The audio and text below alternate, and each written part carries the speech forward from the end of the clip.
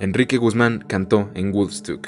El Festival de Woodstock fue una congregación hippie con música de rock, que se realizó desde el viernes 15 hasta la mañana del lunes 18 de agosto de 1969, teniendo como sede una granja de 240 hectáreas en Bethel, en Nueva York.